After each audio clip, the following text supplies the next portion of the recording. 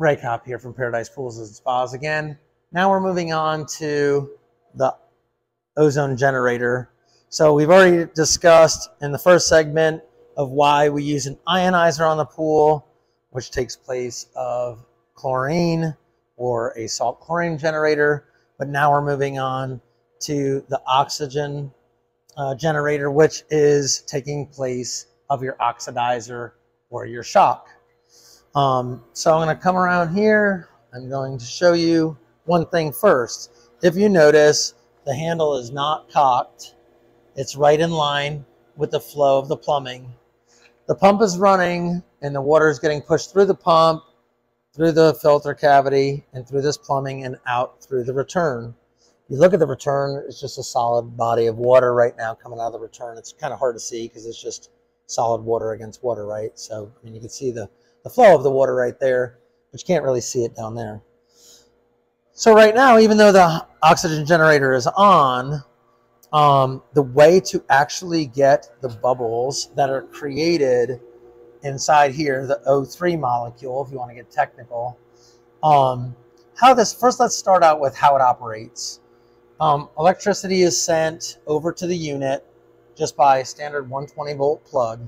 And as the cord comes in here, um, it comes up to little plates. And I'm getting kind of, you know, technical with it. And you probably don't want all this, but I'm going to go ahead and just tell you. The little plates inside here receive the electricity and they give it an electromagnetic charge, which creates O3. So in here, once the O3 is created, well, how do you get it out of here now? So there's a little um, valve stem inside this unit. Um, and the way it draws off air inside this unit is when you force water into this gray pipe right here and run it through here, inside here there's a little pipe that sits inside there and it draws off the air that's created in here, the O3 molecule. Well, how do you do that? You've got to cock back this handle down here. And this is all written on this side, the side that I'm facing. You can see the directions on here, but I just wanted to kind of make a YouTube video to help everybody out. So with a brand new filter or clean filter um, in here, and when I say clean, I mean no scaling inside the filter pleats, because if you have scaling inside the filter pleats, it's going to run slower. So basically, if you look on the top of your filter, you should only see 10 pounds of pressure or 15 pounds of pressure.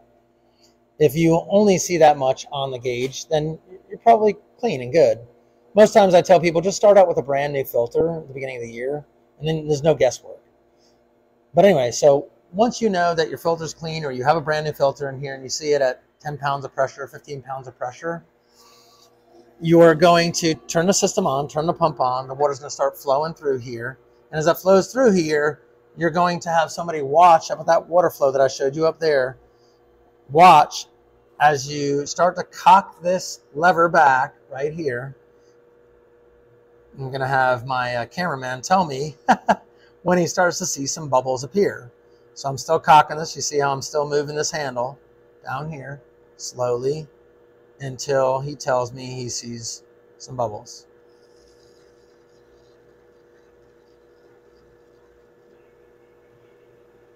Okay, he gave me the thumbs up and he sees some bubbles. So now you're actually implementing the O3 molecule in there again, taking place of the shock.